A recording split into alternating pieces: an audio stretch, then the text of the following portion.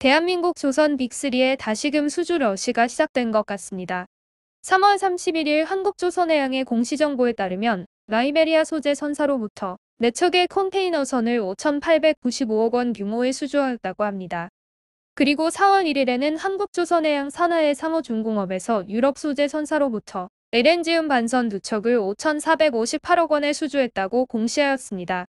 한국조선해양에 이어 삼성중공업 역시 지난 3월 28일 아시아 지역 선주로부터 컨테이너선 5척을 8,036억 원에 수주했다고 공시했으며 4일 뒤인 4월 1일에는 오세아니아 지역 선주로부터 LNG음 반선 한 척을 2,633억 원에 수주했다고 합니다. 대우조선해양도 지난 3월 24일 미주 지역 선주로부터 초대형 LNG음 반선 3척을 8,635억 원에 수주했다고 공시했는데요. 이렇게 빅3 조선사에서 단 9일 만에 3조 원이 훌쩍 넘는 수주고를 올렸습니다. 업계 관계자들이 얘기했던 2022년 한 해는 대형 컨테이너선과 LNG음 반선 위주의 선별 수주가 이어질 것이라는 말이 무섭게 또다시 수주 러쉬가 이어지고 있는 것입니다.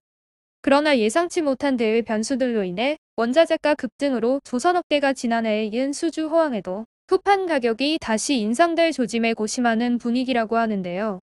이르면 올해 4분기부터 실적 개선을 통해 적자 행진을 마감하려던 터라 철강업계와 인상폭을 둘러싸고 줄다리기가 불가피할 전망이라는 우울한 소식도 함께하고 있습니다. 그나마 다행스럽게도 올해 수주 물량 중 고부가 가치 선박으로 분류되는 컨테이너선과 LNG음 반선 비중이 높아 다른 나라 조선사들보다 나은 조건이기는 한데요.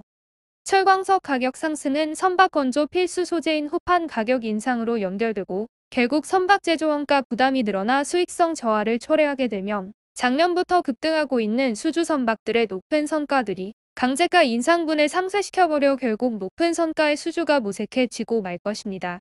이처럼 철광석 가격이 천정부지로 치솟는 것은 바로 러시아의 우크라이나 침공 사태가 장기화되고 있는데 가장 큰 원인이 있는데요. 미국과 서방의 대러시아 제재와 전쟁 피해 당사국인 우크라이나로부터 철광석 수입이 제한되면서 발생한 여파가 업계에 미치고 있는 것입니다. 그렇다고 선박을 수주하지 않고 기다릴 수는 없기 때문에 지금으로서는 하루 빨리 러시아의 우크라이나 침공 사태가 끝나기를 바래야 하겠습니다.